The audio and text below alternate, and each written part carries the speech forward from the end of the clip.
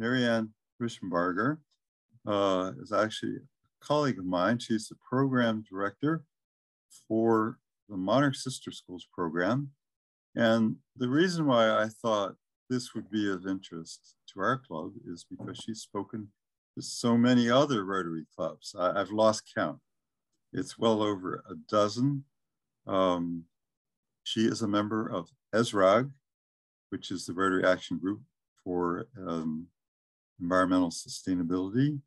Um, she's worked closely with Chris Puttock, who spoke with us uh, uh, a couple months back. Um, Mary Anne was born in Canada, um, went to school locally um, in Maryland, uh, lived in England and Switzerland. Uh, in that sense, she's quite international. Got an MBA from Loyola University in Baltimore. Uh, she's lived in Baltimore for some time now, uh, since the 1980s, I think. And uh, she was actually president of the Baltimore City Rotary Club and I attended uh, her club at the time that she was president. So uh, we've had a long time connection.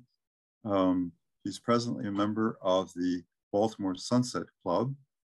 Um, she's done some global grants, very much uh, very active Rotarian, uh, including a major one for uh, a water project, water treatment project in Honduras. Mary Anne. I'm going to give you a good education today about monarchs, and I've learned everything I know from either William Dent or Chris Puttock. And like I, like William said, uh, he has been to my Rotary Club meetings, and I've been to one of yours at the University Club. And William started this wonderful program about 12 years ago. And in 2009, I went on the district conference, which was a cruise at the time. And uh, this was Betty's year. And there I met, um, I'm not sure if William was there, but I know I met Chris Puttock and yeah, he was Chris talking was. about the Monarch Butterfly Program. And I had uh, uh, worked with a parent at my kid's school and we found milkweed growing there naturally. And we were talking about starting a green school. So, or, you know, getting our school to become a green school. So uh, I went back to that parent and said, I learned all about you know, Rotary has a monarch butterfly program. We'll pay to pay to uh, put the garden in. Do we want to do this? And she said, absolutely. So I planted the first garden in 2009 in Baltimore. And then every year as a volunteer, I planted another garden. Uh, and then last November, I asked William if I could come on board full time and started planting gardens uh, full time and focusing on this full time. So we're a very small nonprofit. Uh, our executive director is still William Dent. Um, I am the program director, and we have one employee who is uh, um, a school facilitator for us, and her name is Molly. Um, in addition to planting gardens, we have now added little libraries to our gardens. So if you look down here in the lower left, this is a Rotarian George Brown from the Towsontown Rotary Club. And he's been helping us build the little libraries and we build them and paint them. And then we farm them out to artists. And you can see a couple of the designs um, that the artists have come up with. So every little library is going to be completely different. And this is the first one that we installed, and it's actually at uh, Moravia Park Elementary School. And if you look in the December Rotary magazine on page 10, you'll see a picture of one of our Rotarians and two volunteers in a mulch pile. And that was when we were building this garden this summer. Uh, somehow we got that into Rotary International's magazine. So that was pretty exciting. So here is the male and the female monarch. You can see the female monarch has a little bit thicker black lines on its body. And the male monarch has these two dots, which um, is the only way I can really tell them apart. I can't really tell the thicker black lines when I, I don't see the male next to the female. So the way it all begins is a female monarch will lay hundreds of eggs, usually one egg on each milkweed plant not on each leaf, but on one plant at a time. And this is the egg. Out of this egg will emerge a caterpillar within four or five days. And that caterpillar will eat milkweed and nothing else until it's large enough to form a chrysalis, which is this green uh, shape here. It's not a cocoon. Only moths will create cocoons and butterflies create chrysalises. And then seven to 14 days later, you have a beautiful monarch adult flying butterfly. So here's the process again. It starts with an egg being laid underneath the leaf. Out comes a little, a little caterpillar, which turns around and eats its eggshell. And it goes through five stages or five instars. And the way I tell these apart is by the antenna in the front. So you begin with no antenna, then they get little nubs and then little tiny sticks. And then the antennas are long enough that they protrude past the head. And when they're ready to form a chrysalis, the antenna is long enough that it can actually touch the ground in front of it. So this is a full size caterpillar on a penny to give you an idea of a full size. Um, and at this point, the caterpillar hangs upside down. It forms a little silk uh, string here to attach itself to a leaf or a stick or a fence. It hangs in a J form, and then it starts wiggling around as this chrysalis forms around, or it kind of um, eliminates this skin that's here because the caterpillar does molt five times and outgrows its skin. So it's doing the same thing here with the chrysalis. And at the very top is the skin that's going to just fall on the ground. Then the chrysalis will stay in this shape for about seven to 14 days. When, it, when you can see the butterfly wings inside, it's ready to emerge. The chrysalis kind of breaks open and the butterfly flops out and it needs to hang on to the chrysalis and just rest for a little while as the blood pumps through the wings and fills the wings out so it's capable of flying. And here's a bigger picture of what the chrysalis looks like. It's actually a beautiful, um, a, a beautiful part of nature. It's a very lime green with a gold band going around it and little gold specks on the bottom part. So again, you see the metamorphosis, the butterfly into the, the caterpillar into the chrysalis, and the butterfly emerging until it's ready to actually fly and migrate. Monarch Watch is out of the University of Kansas, and they do accounting every year in California and also in Mexico. That's the only time the monarchs are still is in the fall when they've migrated to their winter habitat. And so they count the number of hectares uh, or surrounding uh, the trees where all of the monarchs go in the wintertime. You can see that our numbers have been declining and we've actually declined between 80 and 90% just in the last 20 years. And the reason we have lost so many monarchs is mostly due to habitat loss. Climate change is part of it, but uh, too many people are just eliminating milkweed from the roadsides and their gardens. And um, we need to get back to planting native plants and putting nat native milkweed back in.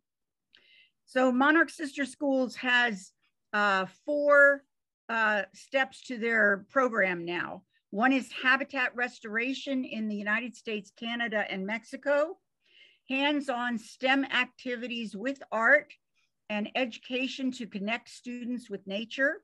We have a cultural exchange with sister schools in Mexico.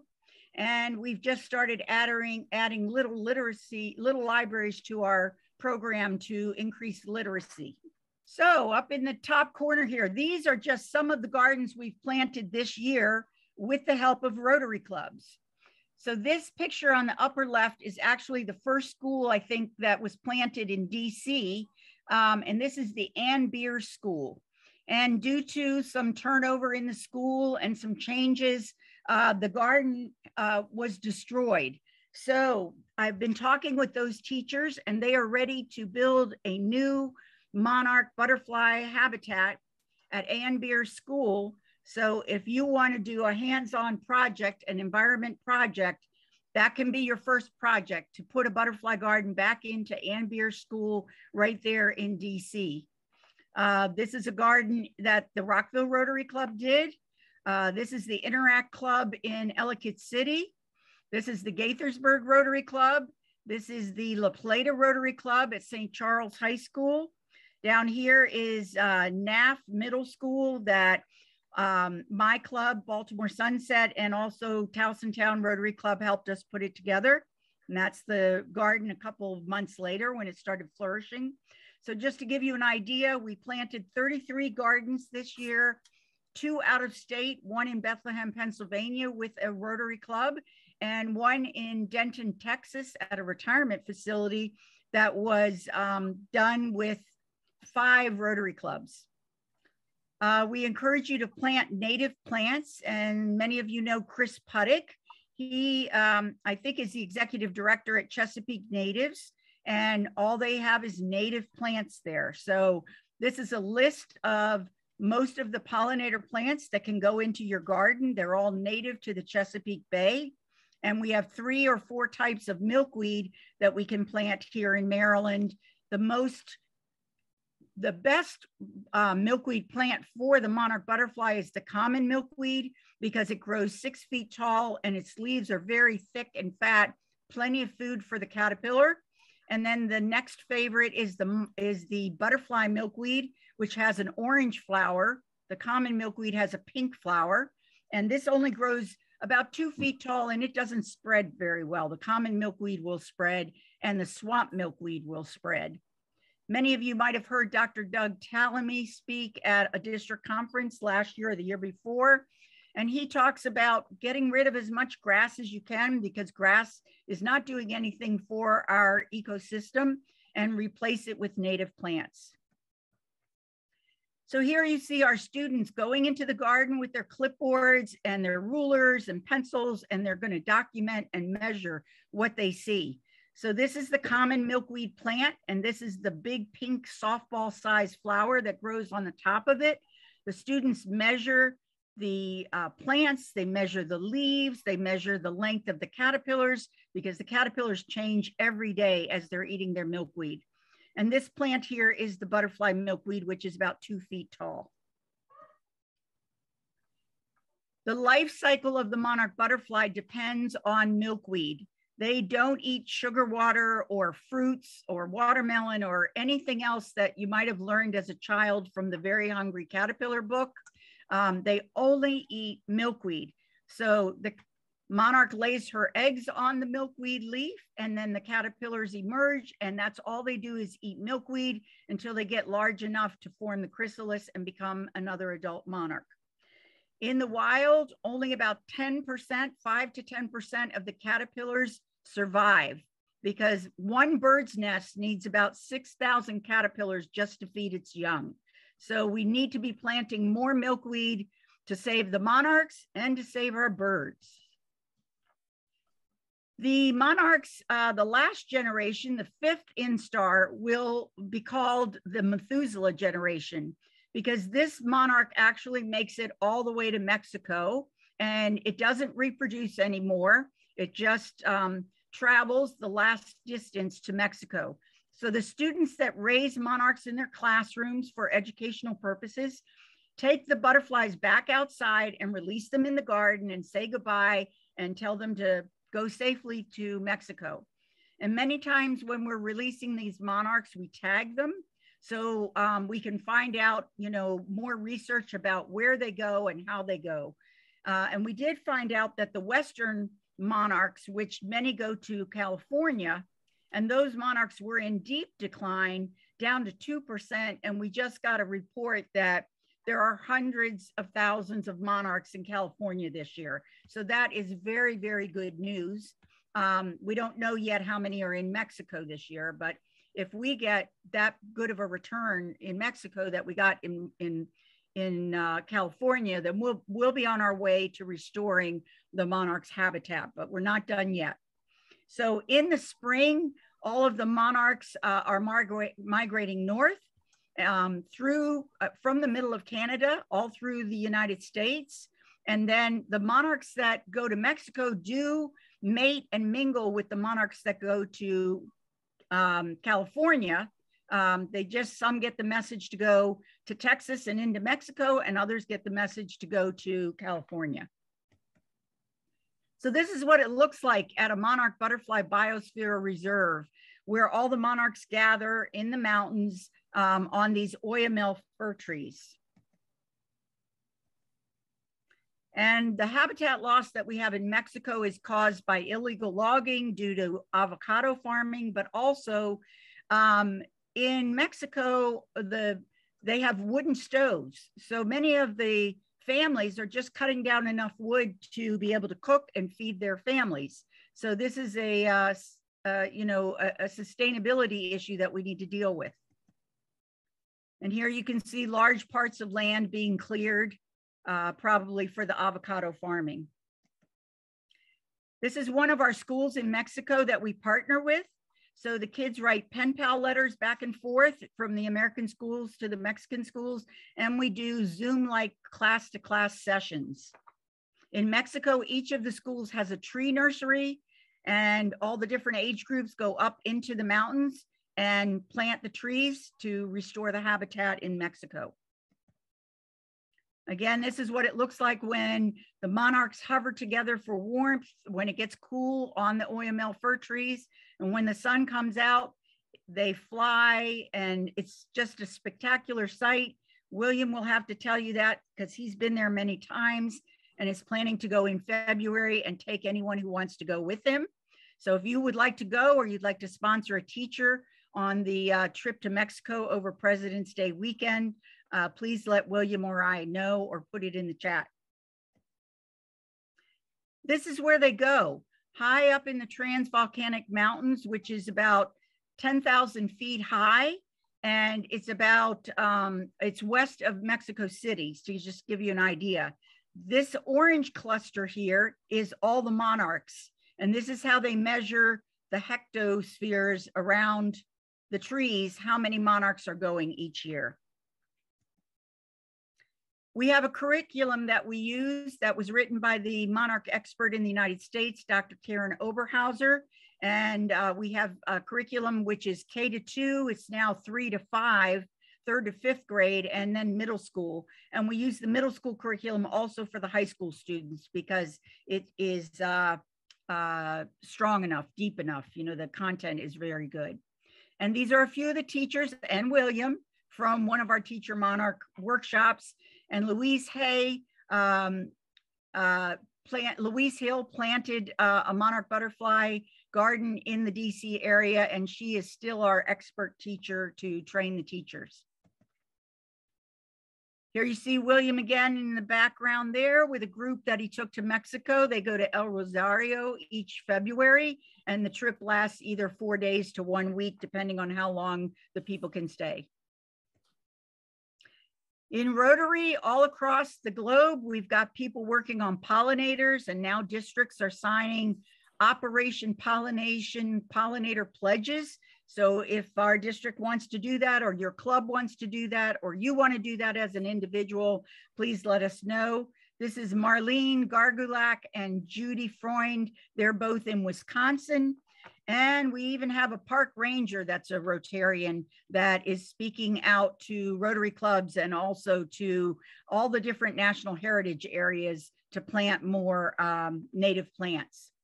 And Chris sent me this picture. He said, if we don't save our pollinators, this is what our supermarkets are going to begin to look like.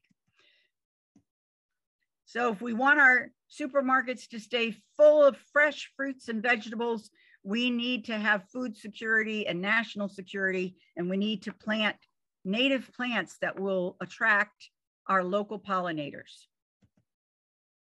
So let me remind you that we do habitat restoration, hands-on STEM learning to connect students with nature, uh, literacy with our little uh, libraries, and we do a cultural exchange.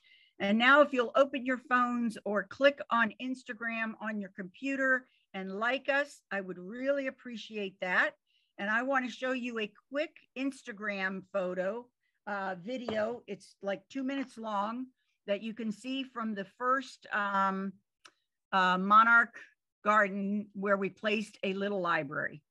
So let me turn my volume on and you'll be able to see this if you go to our Instagram page.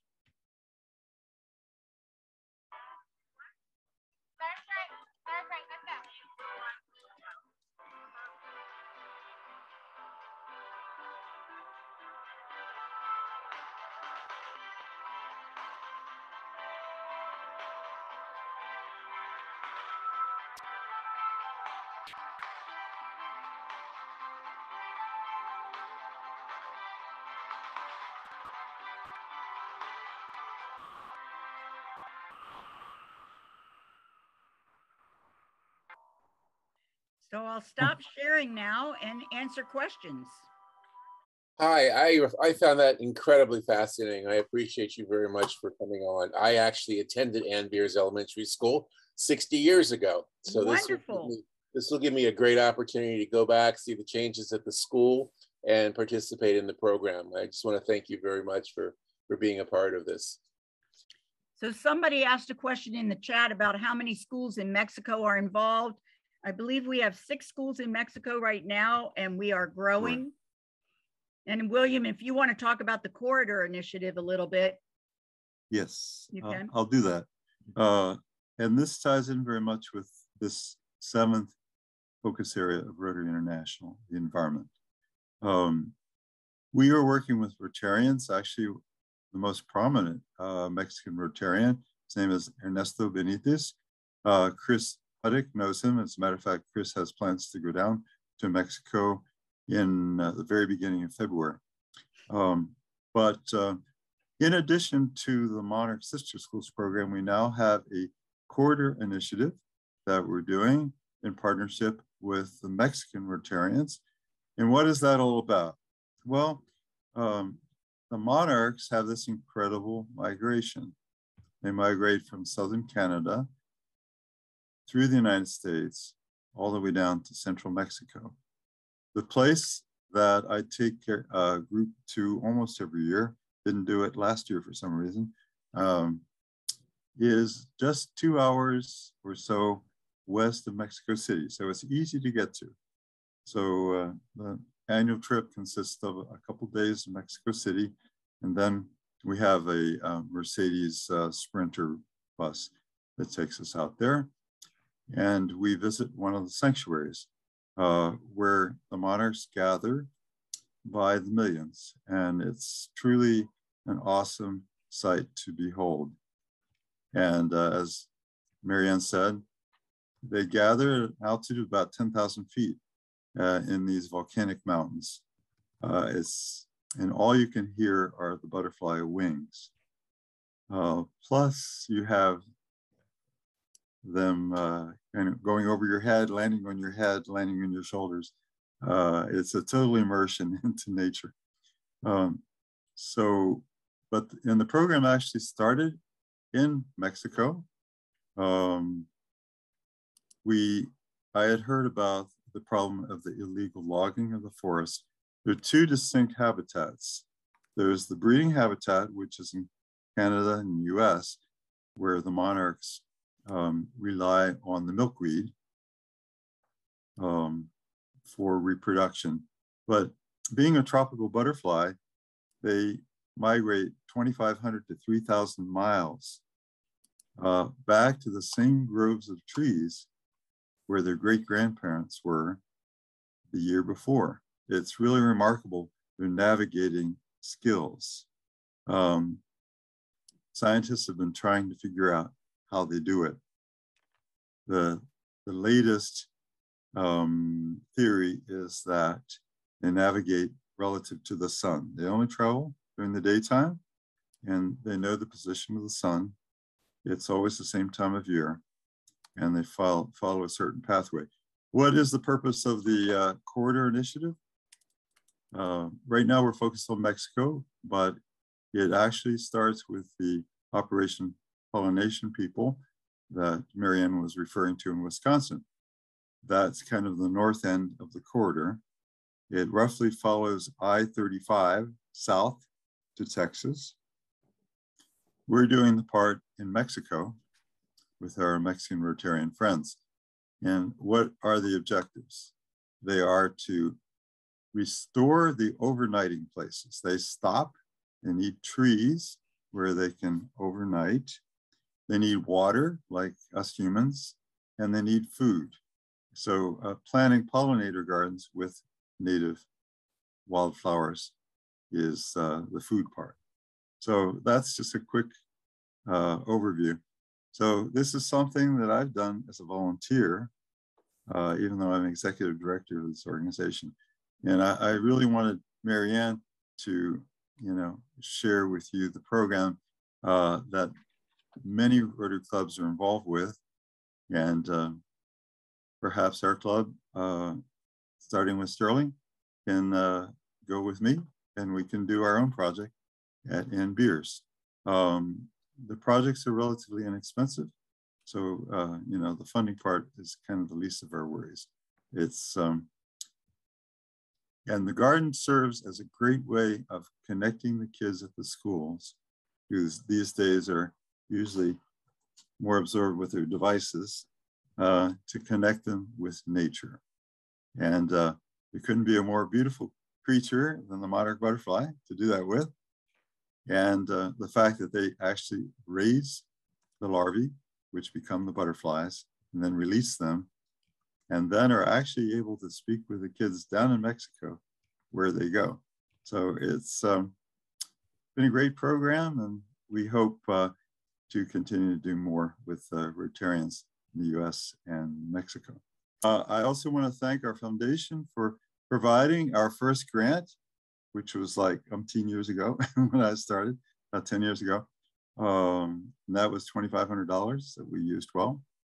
Um, and that's about it. So Mary Anne, uh, we have a tradition, our club. Um, normally I would be handing you a tree certificate. We plant a tree in the honor of each one of our speakers. We'll actually be able to tell you where it is something that we do in partnership with the National Park Service. The trees are planted on the National Mall near the National, um, well, actually the tidal basin near the Washington Monument.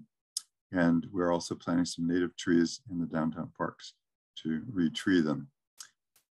So um, thank you. Thanks again.